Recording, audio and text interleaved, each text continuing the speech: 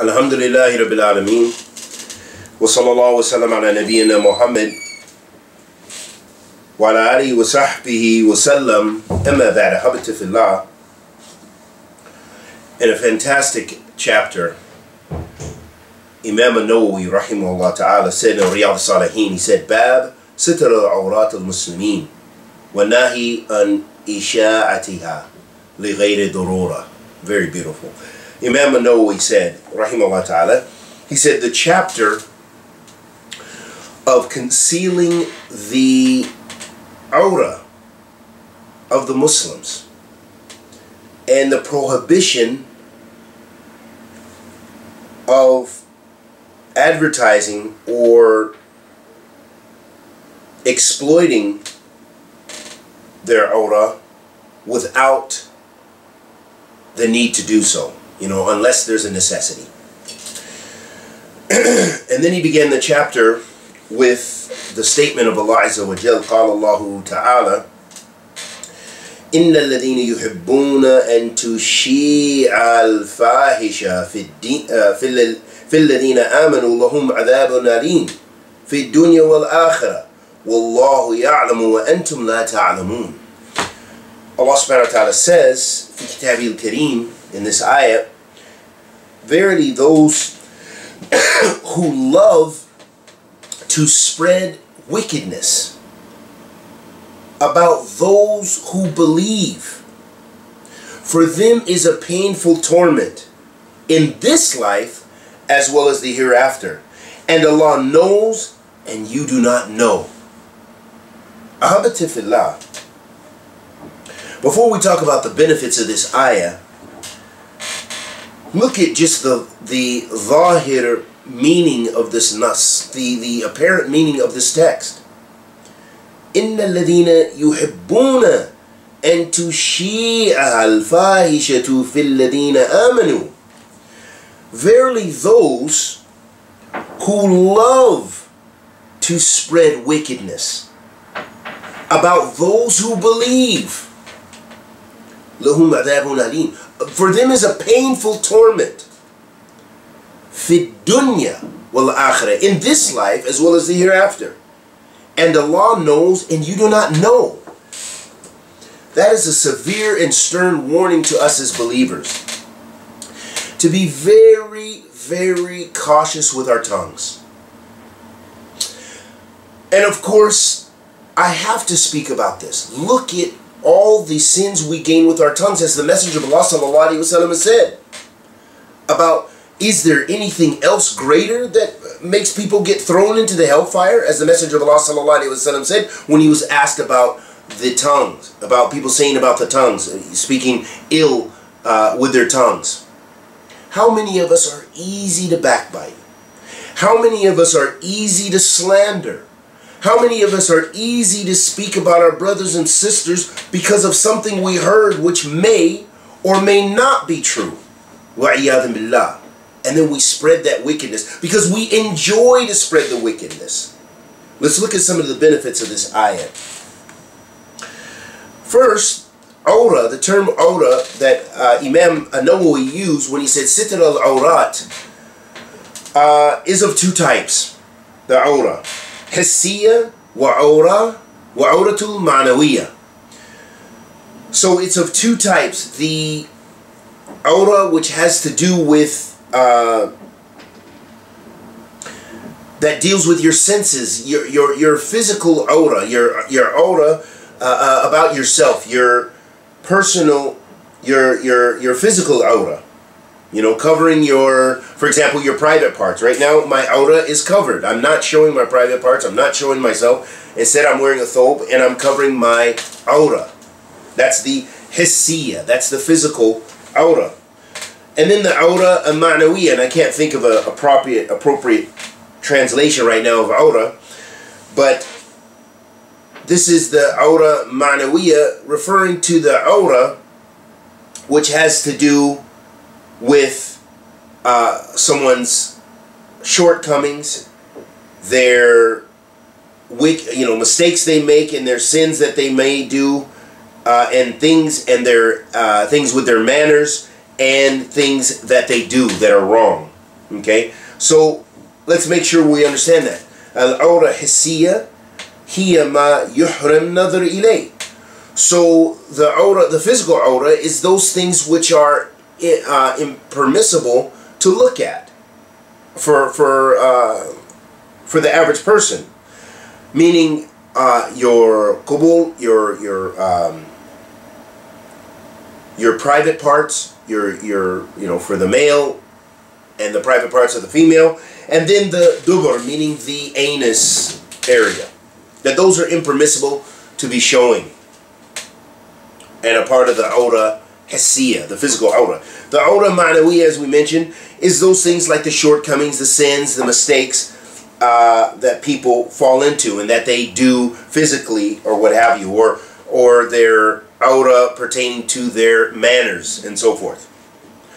So it is uh, something which is required of the servant to cover the aurat of the Muslims in general. This is what one of the benefits we gain from this tarjama, this this um, this title that Imam Nawawi mentioned, and we gain from this ayat that in general it is a requirement for the Muslim to cover the mistakes, the uh, mistakes of the Muslims in general. And this includes both, uh, or, or this excludes that the, the person who loves to spread wickedness about those who believe. Okay? And those who do that, this includes two ways in which they do this.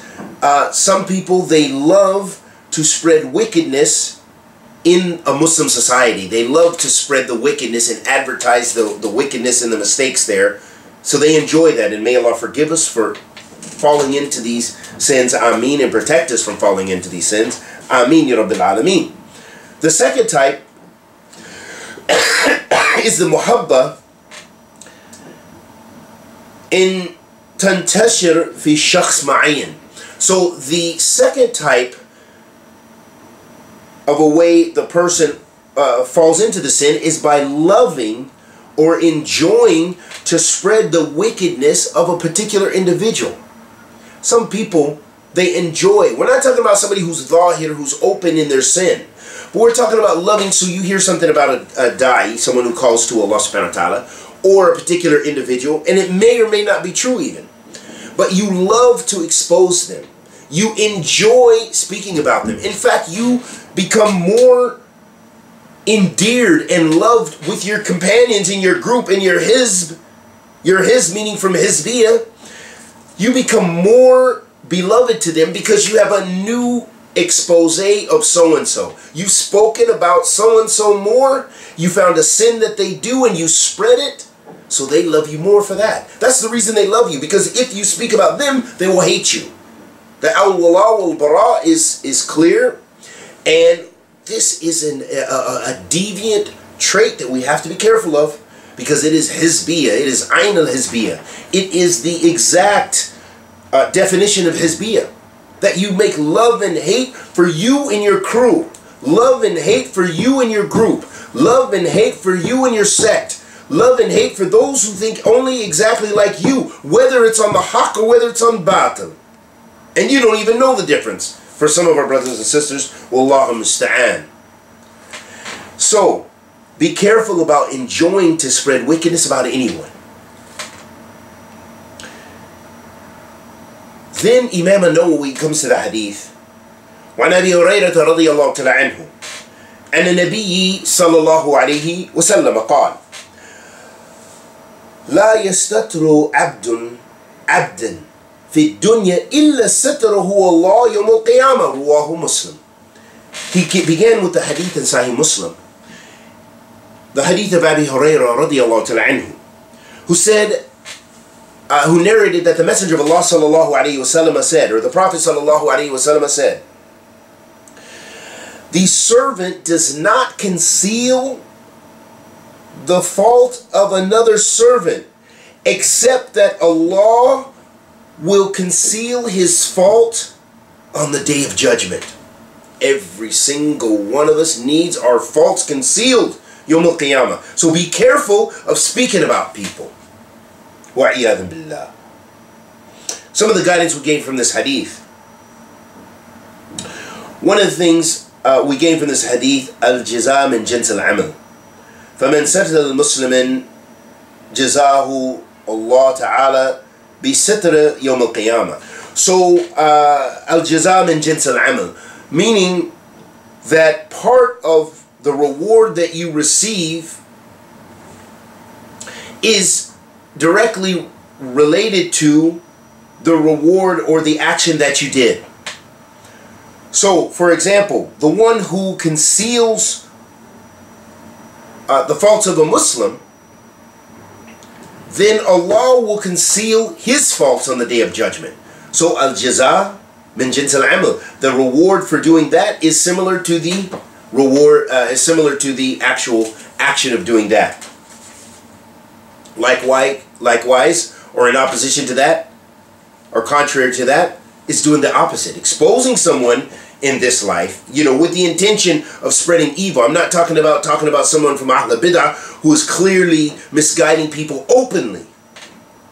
But we're talking about exposing people, seeking to exposing people, loving to expose people, striving to expose people, and spreading evil throughout the world in the lands. The second guidance we get from this hadith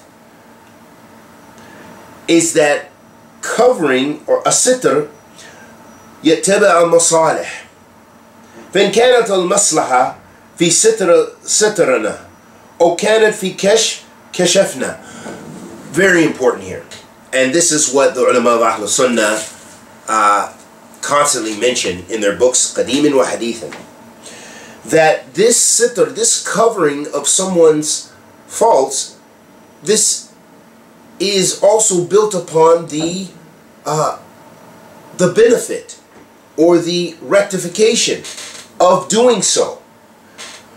So if there is benefit in covering the fa fault of someone, then that's what we do. And if there is benefit in exposing this person, I'm talking about Sharia benefit, I'm talking about something that brings you closer to Allah, something that helps protect the community, then we expose that. So for example, one example would be someone wants to marry a sister.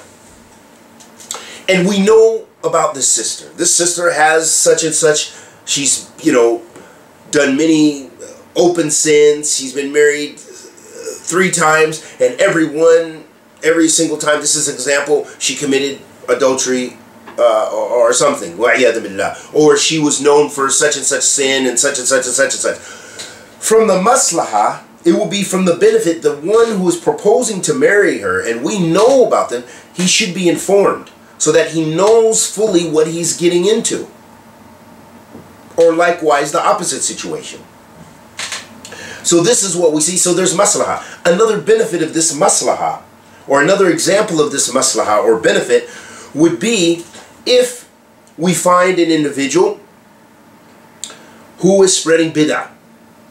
I'm talking about clear bid'ah. I'm not saying that you, that someone, so-and-so doesn't agree with you about Sheikh so-and-so. Or so-and-so, you know, I'm talking about something that's clear. We know so-and-so is an innovator.